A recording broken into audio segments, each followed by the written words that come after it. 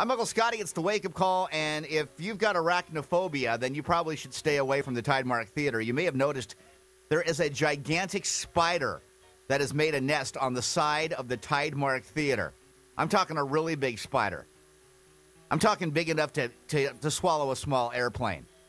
Where did it come from? How did it get there? And better yet, is there an exterminator brave enough to try to get rid of this thing? We're going to find out more about that gigantic spider on the side of the Tidemark Theater from the man who put it there.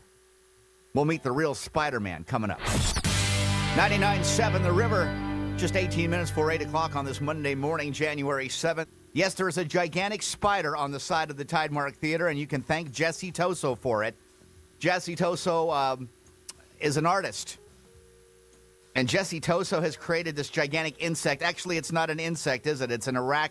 It's an arachnid something or other, right, Jesse? Ara- arachnid. It's an arachnid. I don't know how I remembered that word arachnid. I guess I studied in school harder than I thought I did.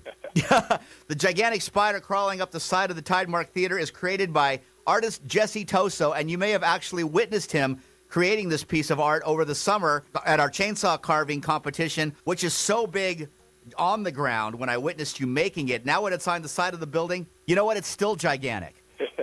How did they get that thing up there with a crane? I would imagine, right? Yeah, we had a little man lift to help us uh, lift it up. Now, I, how, how heavy is that thing? It looks huge, but is it as heavy as it looks? No, actually, I hollowed out the body, so it's probably about 200 pounds right now. I remember when they first put this thing up on the side of the Tidemark Theater. It was one of the, I believe it was the Tidemark Theater's Facebook page, had posted the picture of it, and somebody actually commented on there, "Oh my God, why did you put that up there? It's so frightening. My kids won't want to go to the theater now." Th- to me, I think it's a great piece of art. It's definitely a conversation starter. What inspired you to do the giant, uh, the giant spider in the first place? Well, a couple things, but um, I've been thinking about it for a while. I like I like the idea of uh, removing parts of the log to make it even bigger, like taking out of the space from the log and making it more three dimensional. And I saw another carver, Chris Foltz from Oregon. He carved a, la- a large praying mantis, and that inspired me to think about creating a large bug with big, long legs. And And I do remember watching you carve this. This thing actually comes apart. Does it come apart in like what, eight or nine pieces? yeah, there are eight legs. Well, actually, ten legs. There's two little front ones, and the body is one piece. So I guess that totals eleven pieces. I mean, it's like creating a giant jigsaw puzzle, right? So how did you? It was, really was, is. was a lot of That's- measurement involved a- before you even got started on it? It was a lot of planning. I uh, it was a year of drawing and looking at spiders and figuring out how to get the pieces all from one piece of log. Yeah, and being a carpenter helps. I know how to use joint, you know, make joints. And my dad helped too, the engineering. Well, it looks amazing. Now it looks like you've done lots of other work. How long have you actually been doing the chainsaw carving? I did my first in 2005 at the Transformations on the Shore. Was the first one the elephant or was it the whale?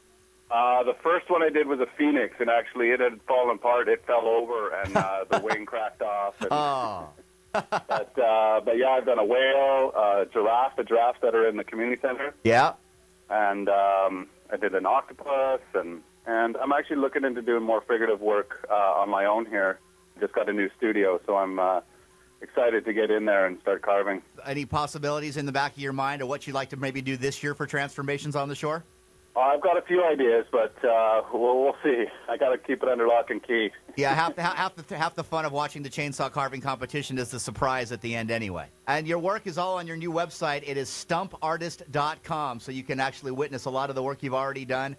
And uh, right. you also sell these pieces. So if people want to purchase some of your work, can they just go to your website? Yeah, they can have a look. Uh, I've got some uh, time lapse. I've taken some time lapse photography of uh, videos of uh, some of the pieces I worked on, so you can see the whole process from start to finish. I should have one up for the spider soon. Uh, I just got to put it all together. Jesse Toso, carpenter by day, artist by night. We look forward to seeing you again in Campbell River for the transformations on the shore this summer. And uh, if you can't wait till the summer, you don't have to because his giant spider is crawling up the side of the Tidemark Theater as we speak, devouring anything with wings that gets in its path. Yeah, look out, Campbell River. Amazing work. Go check it out. You can, of course, just head over to the Tidemark Theater and look. You can also, again, go to that website, stumpartist.com, and find out more about Jesse Toso, local artist who's done a, a- quite a job on the side of the old Tidemark. Also, want to give a shout out to John Locke of Strategic Forestry Group.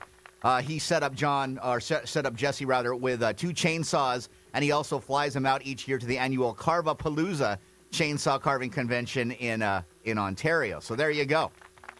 And thanks to Jesse Toso, the creator of the Giant Spider, for joining us on the show this morning. Now you've met the real Campbell River Spider Man.